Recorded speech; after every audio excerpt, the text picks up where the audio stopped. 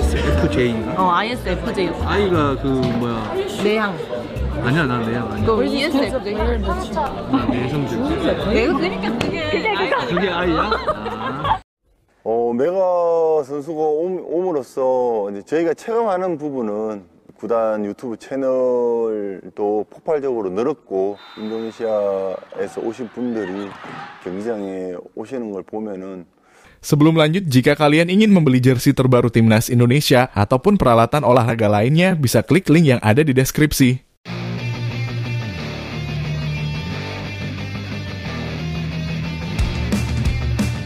Megawati Permata di V-League semua berebut ingin tanda tangan kontraknya setelah Proliga Mega comeback ke Korea.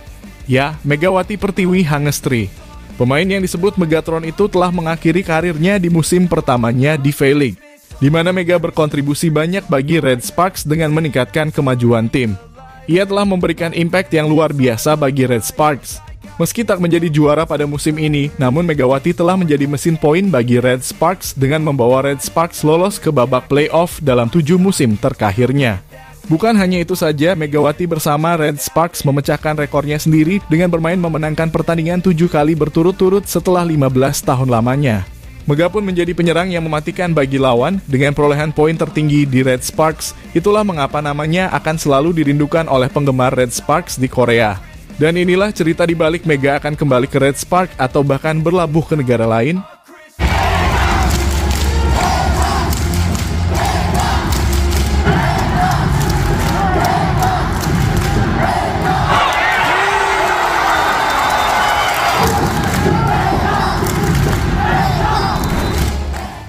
Ya, menjadi bagian dari Red Sparks adalah sebuah kenanagan yang terukir indah dan tak akan pernah dilupakan Megawati bersama Jung Kwanjang Red Sparks, di mana mereka sangat baik bak keluarga.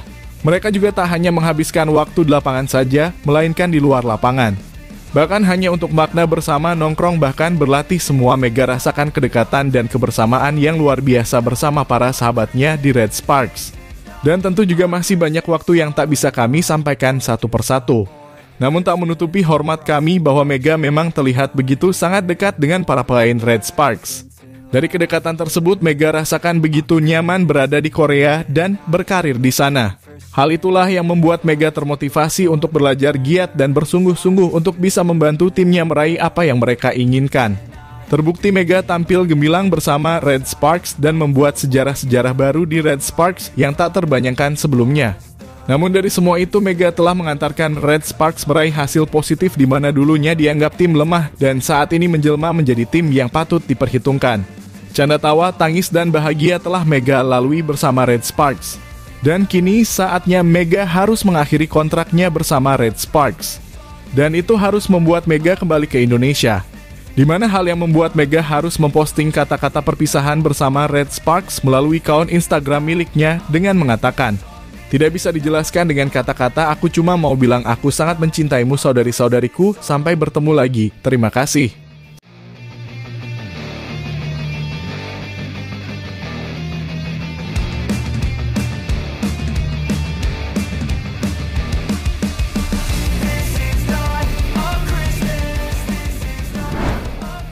Ya, pada bulan Januari kemarin, sejatinya peluang Megawati telah dijelaskan bahwa Mega akan kembali ke Proliga. Hal ini pernah dijelaskan oleh Wibi selaku agen dari Mega yang menjelaskan bahwa Megawati akan kembali ke Proliga. Di mana menariknya Mega yang akan kembali ke Proliga adalah jadwal Liga Proliga yang tak bentrok dengan V-League. Hal itu disampaikan Wibi yang kami kutip dari CNN Indonesia. Karena jadwal Liga Voli Korea selesai pada awal April 2024. Ya, Mega main di Peliga 2024 untuk klub dan manajemennya Mega. Saya tidak bisa bocorkan. Biar nanti timnya sendiri yang kasih informasi. Ujar Wibi. Ya, sekedar informasi jadwal Proliga dan V-League memang tidak bertabrakan. Proliga 2024 dijadwalkan pada 25 April hingga 21 Juli mendatang, sedangkan Liga Voli Korea akan dimulai pada bulan Oktober 2024. Sehingga melihat jadwal tersebut kemungkinan besar Mega akan kembali ke Liga Voli Korea jelas bersama timnya Jung Kwanjang Red Sparks. Di mana ia menampilkan permainan yang menawan bersama Red Sparks hingga berada pada titik terhebat ini. Jelas Mega akan mengasah kemampuannya untuk kembali menjadi lebih kuat bersama rekan setimnya di Red Sparks dan memangkan gelar juara bersama di musim depan. Kalau Mega sih pasti siap karena Mega balik ke Indonesia kan tanggal 9 tapi kalau teman-teman ya dari teman-teman tadi kayaknya siap sih. Asal Mantap. semua difasilitasi sih Pak. Pasti dong, tenang aja. Ya, peluang Mega akan kembali ke Red Sparks musim depan bukanlah hal yang mustahil. Bahkan peluang tersebut sangat terbuka lebar.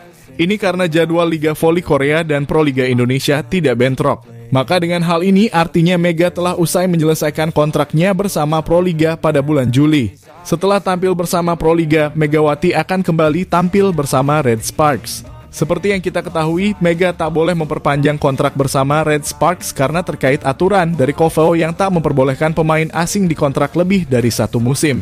Namun setelah itu, Mega bisa dikontrak lagi. Bahkan menurut laporan dari media Korea bahwa Megawati telah mendapatkan kontrak baru dengan Red Sparks. Mega sendiri telah memberi kode bahwa perpisahannya bersama Red Sparks hanyalah bersifat sementara.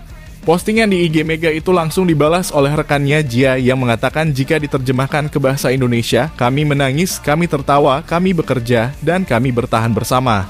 Sampai jumpa lagi saudari. Sedangkan Anyerim 0921 menuliskan Aku mencintaimu Mega.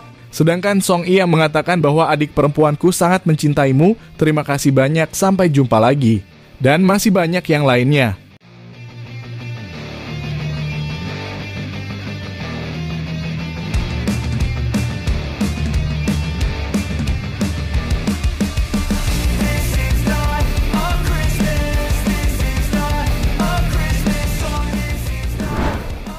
Ya, dalam diri Mega, ia ingin membanggakan dirinya dan juga ingin membanggakan Indonesia melalui bola voli yang ia tekuni.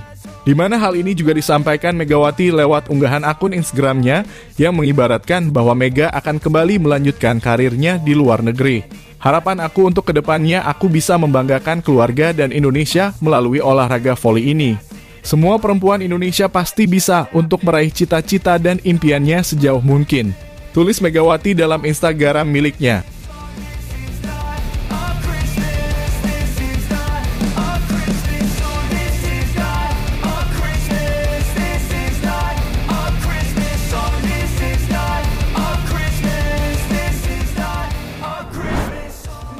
Ya, Mega masih mempunyai cita-cita untuk meraih juara di V-League.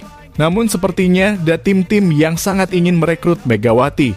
Jika Mega ingin mendapatkan tantangan baru, tim seperti iPoppers dan IBK Altos sepertinya ingin merekrutnya.